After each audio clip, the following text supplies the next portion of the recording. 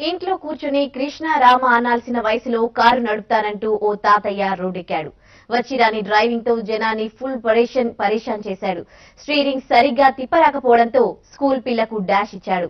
సీన్లోకి enter అయిన పోలీసులు ఆ ముసలాయన్ను అరెస్ట్ చేసి జైల్లో వేశారు. అమెరికాలో జరిగిన ఈ సంఘటనతో వయసు ముదిరిన వాళ్ళకు డ్రైవింగ్ లైసెన్స్ ఇవ్వదనే చర్చ మొదలైంది. ఈ పండు ముసలి పేరు ప్రిస్టన్ కార్టర్. ఏజ్ ఇప్పటికే సెంచరీ దాటేసింది. వచ్చే నెల ఐదు వస్తే నూట ఒకటో సంవత్సరంలో పడతాడు. ఇలాంటి వయసులో ఉన్న వాళ్ళు ఎవరైనా ఏం చేస్తారు? ఇంట్లో ఉంటారు. మనవళ్ళు మనవరాలతో పార్కుల్లోనూ పబ్లిక్ ప్లేసుల్లోనూ సేద తీరాలి. కానీ ఈ ఓల్డ్ మ్యాన్ అలా చేయలేదు. ఈ వయసులో కూడా కారులో షికారు కంటూ బజారుపై పడ్డాడు. లాస్ ఏంజల్స్లోని ఓ స్కూల్కు దగ్గరలో పార్క్ చేశాడు. ఇంతవరకు బాగానే నడిచింది బండి. కానీ ఆ తర్వాతే అదుపు తప్పింది. మళ్ళీ రోడ్డుపైకి తేవడానికి ప్రయత్నించగా అది సాధ్యపడలేదు. స్టీరింగ్ తిప్పేంత శక్తి లేకపోవడంతో వెనకాల వస్తున్న స్కూల్ పిల్లలను గుద్దేశాడు. దీంతో వారిలో తొమ్మిది మందికి తీవ్రంగా గాయాలయ్యాయి. చుట్టుపక్కల వాళ్ళు వెంటనే వాళ్ళను ఆసుపత్రికి తరలించారు.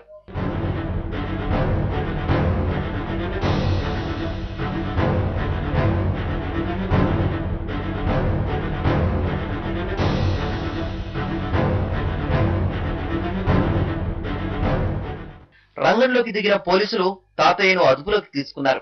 ఈ వయసులో కారు డ్రైవింగ్ అవసరమా అంటూ చివాట్లు పెట్టారు. ఆ తర్వాత అరెస్టు చేసి పోలీస్ స్టేషన్కు తీసుకెళ్ళారు.